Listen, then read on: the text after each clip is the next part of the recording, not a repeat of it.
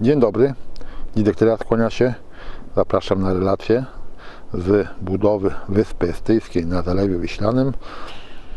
Także e, proszę zobaczyć, jak powstaje wyspa, sztuczna wyspa. E, Sztuczna wyspa e, powstaje na skutek budowy kanału przez Mierzeję Wiślaną.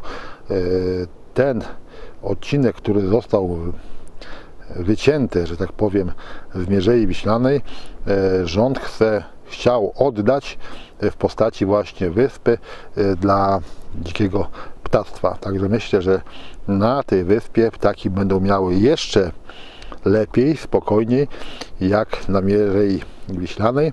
E, Pragnę dopowiedzieć, że na wyspę estyjską człowiek nie będzie miał prawa wstępu. Mam nadzieję tylko, że e, będą rozlokowane liczne kamerki, będzie można podglądać dziką przyrodę, e, dzikie ptactwo, także może jakieś zwierzęta, także mm, no, oby tak było. Natomiast e, e, bardzo uważam, bardzo fajnie pomyślane z tą wyspą. Także tak to wygląda. Ja właśnie już jestem na wyspie estyjskiej. Proszę zobaczyć, trwa kolejny rozładunek, e, kolejny e, transport e, urobku z rzeki Elbląg, z pogłębiania rzeki Elbląg. E, Tu właśnie trafia i, i tak się właśnie formuje nowy, nowy ląd, proszę Państwa. Oprócz tego, oprócz tego, proszę Państwa, jest oczywiście refulacja, odbywa się na Wyspie Estyjskiej, odbywa się refulacja piach, który jest właśnie na dnie Zalewu Wiślanego, właśnie jest transportowany specjalnymi rurami właśnie na Wyspę Estyjską.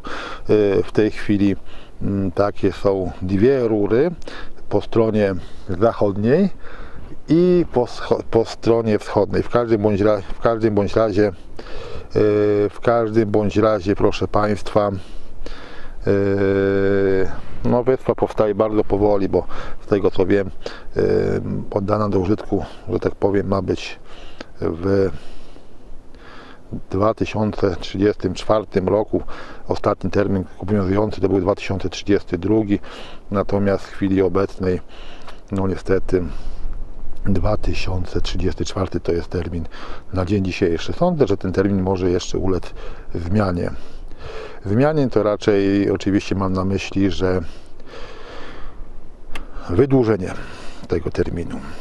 No przykra sprawa, w ogóle prace, które mm, odbywają się e, w związku właśnie z e, budową kanału, to jest właśnie jeszcze pogłębianie rzeki Elbląg, czy mm, e, pogłębianie drogi wodnej do Elbląga, czy też teraz tutaj, co Państwo właśnie mają mm, okazji widzieć, formowanie wyspy e, sztucznej wyspy na Zalewie Wiślanym właśnie odbywają się bardzo, to bardzo opieszale i, no i ta, ta inwestycja bardzo mocno wyhamowała.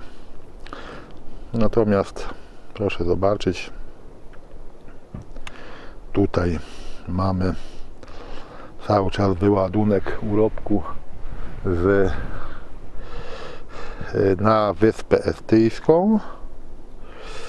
Na razie póki co jedna koparka chodzi. Mam nadzieję, że będzie okazja pokazać Państwu, jak pracuje druga koparka.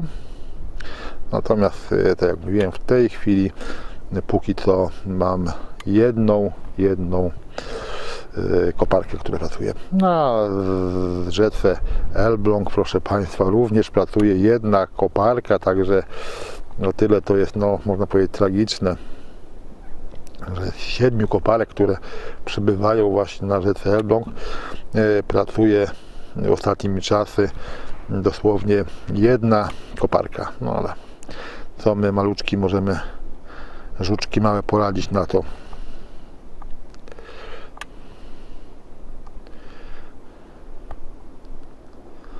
Także tak to wygląda. Dziękuję Państwu serdecznie za liczne subskrypcje, które otrzymałem od Państwa, mój, które otrzymał od Państwa mój kanał. Zapraszam do, dalszej do dalszej subskrypcji mojego kanału. Osoby, które oglądają właśnie moje filmy, a jeszcze do tej pory tego nie uczyniły, zapraszam do subskrypcji oraz do lajkowania mojego kanału. Te czynności, jak również jeszcze napisanie komentarza e, powodują to, że łatwiej, mm, do, e, łatwiej dotrzeć mi do nowych odbiorców. To jest dla mnie niezmiernie, proszę Państwa, istotne.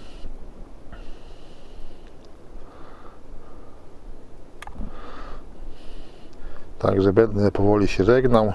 E, Jeszcze Państwu tutaj troszeczkę muzyczki włączę.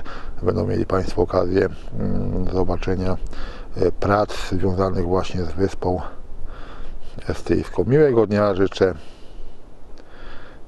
Cześć, trzymajcie się widowie.